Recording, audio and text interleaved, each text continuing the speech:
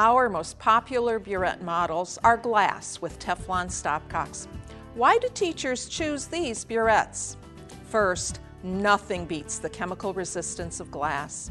You can safely use glass burettes in titrations with strong acids and bases, oxidizing agents, ammonia buffers, even halogens dissolved in an organic solvent. Then there's the nature of Teflon. It's the world's most slippery substance.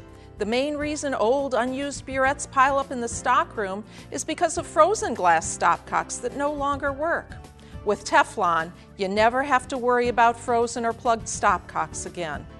Flinn Scientific has two major lines of glass burettes with Teflon stopcocks, and both models come in three convenient sizes. Our highest quality burettes are made of borosilicate glass, which ensures the highest possible calibration accuracy due to its low coefficient of expansion. Borosilicate glass burettes also come with a replaceable body, stopcock, and burette tip for long-term value.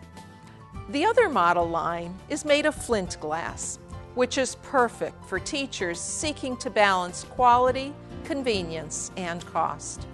No matter which model you choose, all of our burettes must pass product review and QC tests to ensure that your students will always get accurate results.